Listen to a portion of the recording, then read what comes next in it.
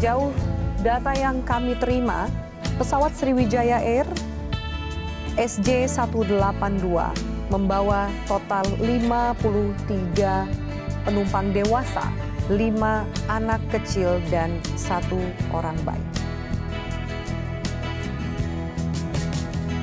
Call sign dari Sriwijaya Air SJ182 dengan tipe Boeing 737-500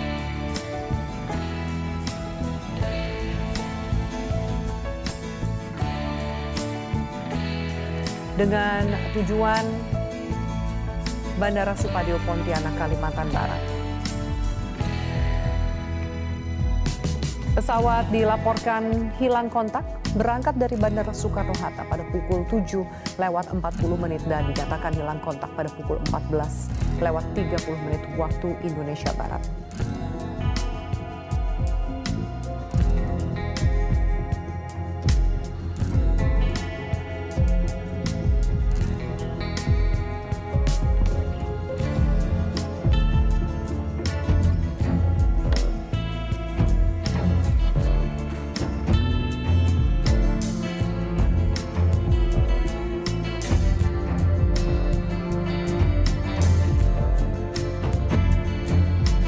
Pesawat Sriwijaya Air SJ 182 rute Jakarta Pontianak hilang kontak di mana penerbangan pesawat tersebut terakhir terekam berada di laut utara Pulau Jawa.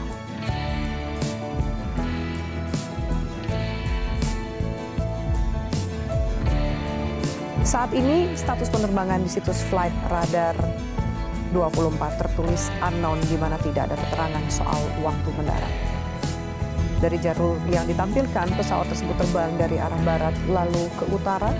Terpantau pesawat terakhir berada di atas Laut Jawa, tepatnya di sisi utara Pulau Jawa. Manager Branch Communication and Legal Bandara Soekarno-Hatta, Hairul Anwar mengatakan pesawat Sriwijaya Air hilang kontak di sekitar Pulau Lancang, tepatnya berada di sekitar Kepulauan Seribu.